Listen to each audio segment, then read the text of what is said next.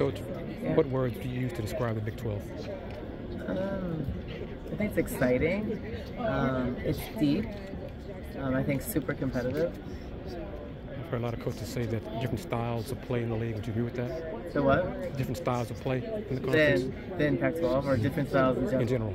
Yeah, I think um, very different. I think if you look at ASU versus like Iowa State, I think a lot of teams have different, like very different styles.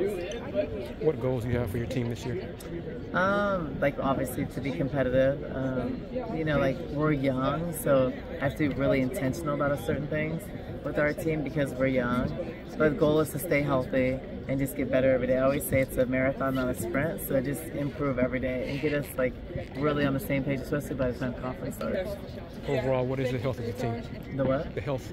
I mean, great. Like after last year, everything we're healthy. Like we've had a couple like bang ups, and I'm like, okay, this is nothing. We still have 12 players. Like last year, we had like six at some point, thinking we're gonna have to forfeit games.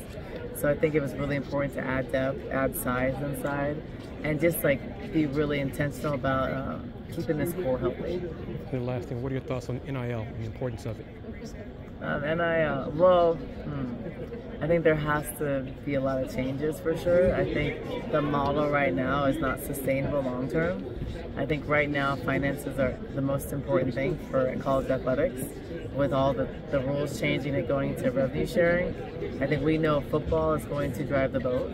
And I think that finding ways to, um, to have some kind of caps on NIL and level the playing field and let people invest in them, but not people spending a million dollars to get transfers. I don't think that's the I don't think that's sustainable. Um, so I think with this new model coming up soon, like hopefully it'll get voted, voted in like March, I think, or February, whatever, next year in 25, it has to change the model, or else it'll just kill women's sports. Thank you, Coach.